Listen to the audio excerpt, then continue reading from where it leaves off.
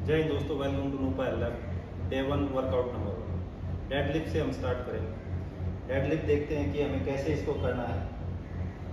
इसके प्रोसीजर को समझना कहीं हम गलत तो नहीं कर रहे हैं। अगर गलत कर रहे हैं तो उसको हम कैसे करेक्ट करते हैं?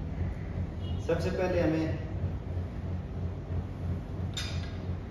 अकॉर्डिंग टू आवर कैपेसिटी अपने वेट को डाल लेना है इसमें। इसमें दो तरह की ग्रिप आप कर सकते हैं और एंड ग्रिप बोथ हैंड और एंड और एक एक अंडर हैंड और दूसरा और हैंड इसमें सबसे ज़रूरी बात है समझने की कि ये हमारी ओवरऑल बॉडी डेवलपमेंट के लिए बहुत हेल्पफुल है. लोअर बैक के लिए, आपके स्पाइन स्पाइन के लिए. तो इसमें शुरू करते हैं.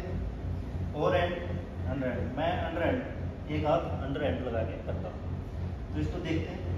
इसको हमें नी के पास रखना है.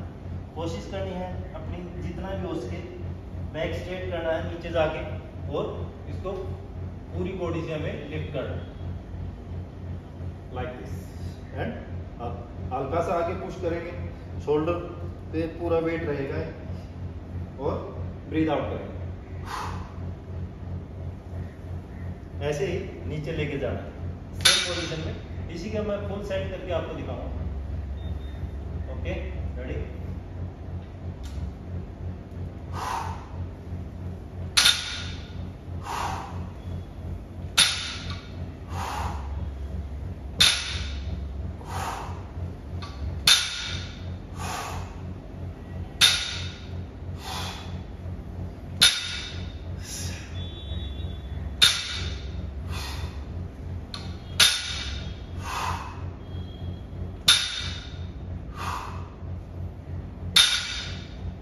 अगर आपको लग रहा है कि आप बिगिनर हैं तो आपको कोशिश करना है लाइट से लाइट वेट इसमें डालना। ज़्यादा वेट का कोई फ़ायदा नहीं अदर आपको अदरवाइज़ आपको इंजरी हो जाएगी।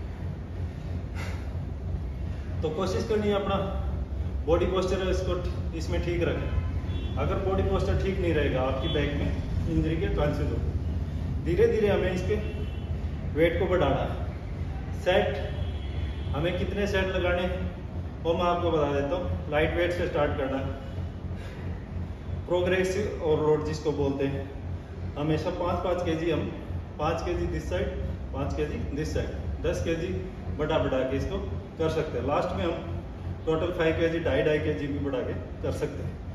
तो इसको लास्ट तक सेट चार पाँच छः ट्राई कर सकते हो। आपकी बैक पे भी अच्छा इफ़ेक्ट देगा और आपके ओवरऑल बॉडी डेवलपमेंट पे अच्छा इफ़ेक्ट है अगर हम इसमें बैक को रोल कर लेते हैं बैक रोल करते हैं। तो इंजरी के मैक्सिमम चांसेस है आपको पेन भी फील हो जाएगा। अगर वो मस्कुलर पेन है तो तीन दिन में ठीक हो जाएगा।